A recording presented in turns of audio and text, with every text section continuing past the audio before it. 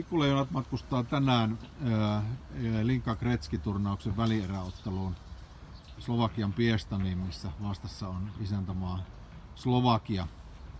Ää, Pikkuleijonien kakkoslinjan pakkipari Otto Sali Rasmus Vuorinen, mitkä on pakkiparin perusperiaatteet illan peliin.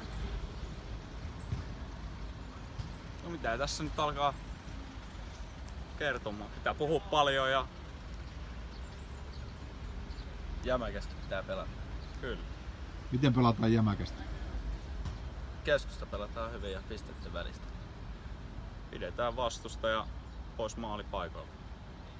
Slovakiakin on käyty vähän läpi, Slovakian joukkuetta. Minkälaisia asioita puolustuspelaamisen näkökulmasta pitää ottaa huomioon? No siellä on pari hyvää yksilöä pelaajana. Ne pitää ottaa vaan pois. Sillä pärjää. Mitä Rassi? No sama oli just sanomassa. No.